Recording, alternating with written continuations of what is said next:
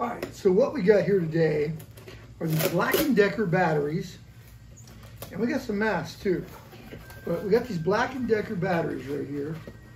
They are from a company called AKO Power. AKKO Power, actually. Come in this little box inside of this. Um, these here are 4.0 AH batteries. The company is in Italy, but the batteries, I think, came from China. It says Italy on the box, but I think they are Chinese. Let's see. Oh yeah, right on top, made in China.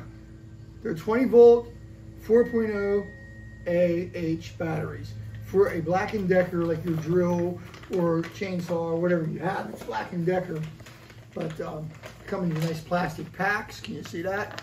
There are 20s there, right there. You see that? There they are. Um, basically, uh, I bought these before. They work real good. That's why I bought them off the same seller again. Came overnight from Amazon, so basically the shipping is there the next day. So that's a good thing. Um, that's the batteries. What else we got here? Uh, these are the masks I bought. Just in case you need disposable mask. These are those. These are black. These are non-woven masks. Uh, the company that sells these, I got it written down here, it's AC Win is who sells them on Amazon. So I bought these before. They're non-woven. Um, these work real good. I've already went through a hundred of them. They're they're they don't break. They're like real good. Also made in China. It says right on the back. So we have a box of those. So that's basically it for today. Let me see if I missed anything. These are $7.99 on Amazon.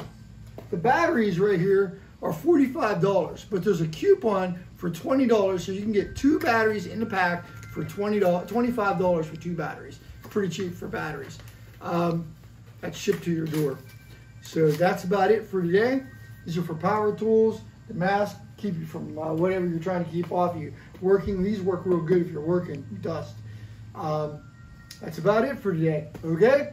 Thumbs up, don't forget,